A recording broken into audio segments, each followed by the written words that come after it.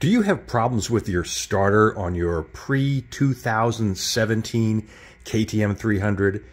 Well, if you're like most people, the answer is probably yes. And there's a lot of reasons for that, but the uh, the basic is that the starter was a retrofit and it doesn't really work very well. So there, I've seen all kinds of solutions like replacing the, the Bendix or the uh, crown wheel, replacing the bushings. I've tried all those things, they never worked. Uh, I have a solution that seems to work every single time, and that is a 24 volt starting system, which I will describe in detail in a moment. This is a 2013 KTM 300XCW, and it's got the dreaded slow cranking, uh, which I'm sure many of you all have experienced. Uh, I just put a brand new 8 cell anti gravity battery in here, and it's uh, it's current. I just fully fully charged it, and it's got um, uh, let's see, 13.63 volts. So it's a fully charged, brand new battery, and we'll see what happens when we try to start using it. We'll go ahead and hit the starter on this thing. Now the parts needed to make this into a 24 volt starting system is uh, very short. As you can see, um, I have a four cell anti-gravity 401 uh, lightweight lithium battery. Uh, really only need one of these 8 gauge cables. And then the two little uh, remote charging uh, cables make it very, very handy as well. And uh, the reason for that is that um, this um, four cell battery you'll have to charge manually. It will not be charged by the charging system on the bike. I should mention that the uh, the total cost in parts to do this is only about 150 bucks. Uh, the biggest cost is the battery. That's probably about 110 to 115 bucks. You can get them at Rocky Mountain ATV. Um, these uh, they're supposed to be a foot, but they look a little shorter than that. These eight gauge um, battery cables were about 15 bucks for the pair. And these uh, these charger remote charger ones, it's about eight or nine dollars for one, but you can get five for fifteen bucks. So that's kind of a no brainer. Um, so my uh, my suggestion is just to to source these parts and get started. So the first thing you need to do is to remove the the side panel. Or actually, take the seat off first, obviously, which already is has been, been removed, and take off the side panel. And this side panel comes off just with no tools, just pops right off. And if you look right down in there, we can see the uh, starter solenoid for this bike. And we'll see if we can move this a little bit out of the way, get a better view of it. Right there. Okay, that's your starter solenoid.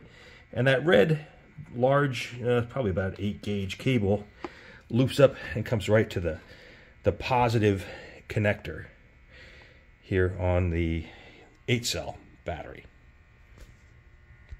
On the other side of the starter solenoid is the cable that goes directly to the starter. Right? It's going to transfer the energy uh, right out of the battery across that solenoid and through this cable right here. It's a it's a large cable, and it comes up, runs runs along, uh, and it eventually goes right down to the starter right there. And so the other end of this cable from the starter is plugged into the solenoid right here. And we're going to make a couple changes to convert this. So the starter solenoid is right here, and you can see there's the two slots either side that's just rubber. It's a sleeve, and it fits over uh, these, these two prongs right here. So that's all it takes to remove it, which I just did. And note that on the bottom side is where the, uh, the connectors are. And I just turned this uh, over upside down. You can see that Right here's the cable that goes uh, to the battery. On the other side is the cable that goes directly to the starter. And the solenoid makes that connection between those two. All right, the next step in the conversion to a 24 volt starter is I have removed the cable uh, that goes to the, the starter itself and I attached a different cable right here and this red wire goes up to the uh, negative terminal on my auxiliary battery. This is the uh, four cell lithium battery. And the cable that used to go uh, to the starter side of the starter solenoid is now connected to the positive terminal. So you will only get the 24 volts when the starter solenoid is engaged. So the next step is we're going to test the 24 volt starting system. So I've opened up the garage just to get a little bit more uh, air and don't fumigate myself. So this is what we had just done. And we'll go up and hit the starter button. Let's see if we hear a difference in the cranking uh, speed.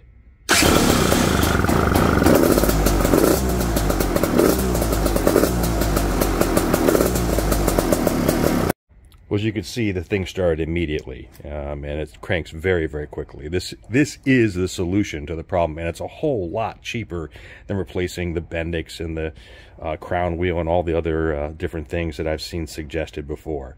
So now the next thing to do is to get everything tucked back in and back in place uh, so we can get the seat back on it's worth mentioning that everything that I've done to this point has been on the starter side of the starter solenoid. So I've taken off the the, uh, the cable from here, attached this one that goes to the negative terminal um, on my my four cell, and then I connected the cable that goes directly to the starter. This way, only when the starter solenoid has made its connection am I getting 24 volts to the, the starter and the entire system. Um, if you uh, if you get confused and you disconnect any of the terminals from the main battery, you could inadvertently um, hook in a series the batteries and put 24 volts through your system, which will severely damage all of your electronics. So don't make that mistake. So to just to uh, reiterate, you only are are making changes from the the starter side of the starter solenoid and nowhere else.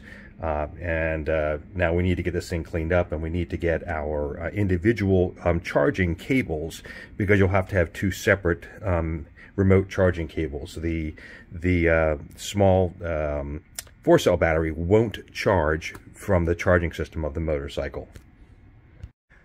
Okay, I've got my four cell battery located in the air box right next to the air filter. I'm just simply going to zip tie it to the frame.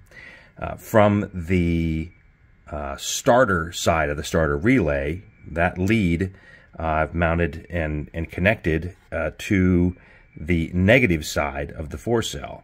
And then the lead that goes directly to the starter is here on the positive side, thus giving us 24 volts when we hit the starter.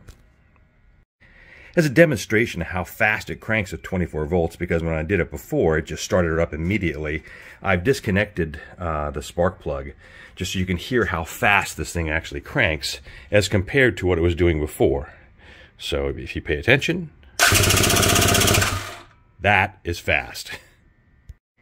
Here I've replaced the lithium battery with a lead acid battery because it just didn't need all the extra power of the lithium battery.